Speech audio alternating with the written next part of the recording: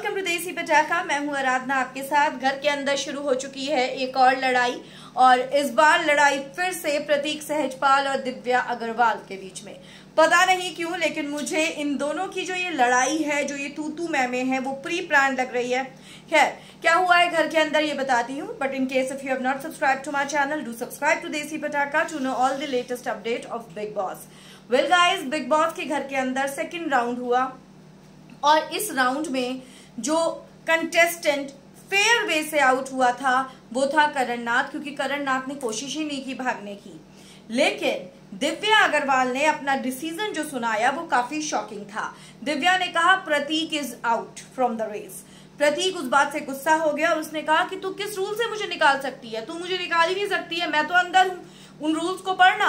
और big boss मैं यहाँ से नहीं हिलूँगा। चाहे पूरी रात जागना पड़े, मैं जीता हूँ सेकंड राउंड में और मैं अपने आप को आउट नहीं मानूँगा। रूल्स एंड रेगुलेशन इसको पढ़ने की ज़रूरत है। जिसके बाद अब लगातार दिव्या और प्रतीक के बीच में लड़ाई हो रही है। दिव्या कहीं ना कहीं प्रतीक के साथ अपनी खुंदस निकालती हुई नज़र आ रही है। गेम के अंदर प्रतीक अंदर थे पूरी तरह से।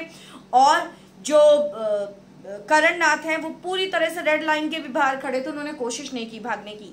What's your take on it मुझे कमेंट्स में लिख कर बताएँ। वीडियो को लाइक और शेयर करना प्लीज़ डू नॉट फॉरगेट